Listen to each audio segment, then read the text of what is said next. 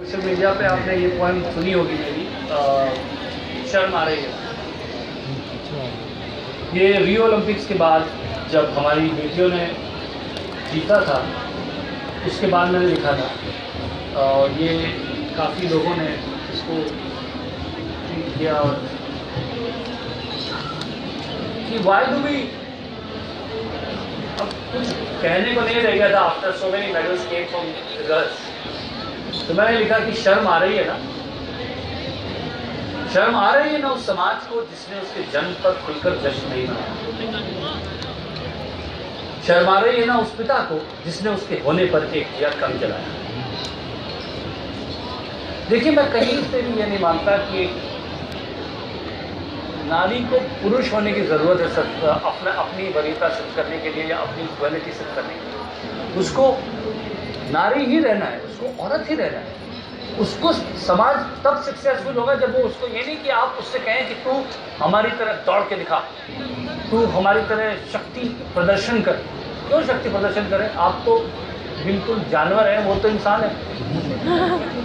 तो उसके उसके जन्मजात गुणों के लिए जब आप उसकी तारीफ़ करेंगे, तभी मैं समझूँगा कि हमारा समाज जो है, वो एक सही दिशा में जा रहा है।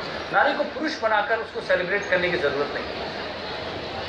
शर्म शर्म आ रही है ना उस समाज को जिसने उसके जन्म पर खुलकर जश्न नहीं मनाया? शर्म आ रही है ना उस पिता को जिसने उसके होने पर एक दिया कम चलाया? शर्म आ रही है ना उन रस्मों को, उन रिवाजों को, उन बेड़ियों को, उन दरवाज़ों को? शर्म आ रही है ना उन बुज़ुर्गों को जिन्होंने उसके अस्तित्व को सिर्फ़ अंधेरों से जोड़ा? शर्म रही है ना, उन दुपट्टों को, उन लिबासों को जिन्होंने उसे अंदर से तोड़ा। शर्म आ रही है ना, स्कूलों को, दफ्तरों को, रास्तों को, मंजिलों को। शर्म आ रही है ना, उन शब्दों को, उन गीतों को, जिन्होंने उसे कभी शरीर से ज़्यादा नहीं समझा। शर्म आ रही है ना, राजनीति को, धर्म को, जहाँ पर बार बार अपमानित हुए उसके सब शर्म आ रही है ना, खबरों को, मिसालों को, दीवारों को भालों को शर्म आनी चाहिए।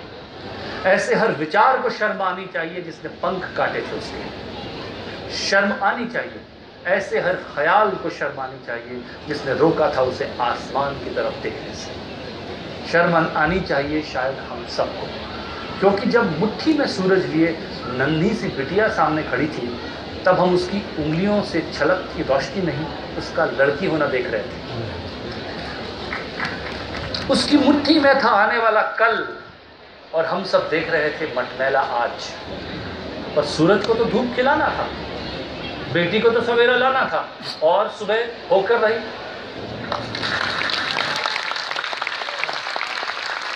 Ladies and gentlemen,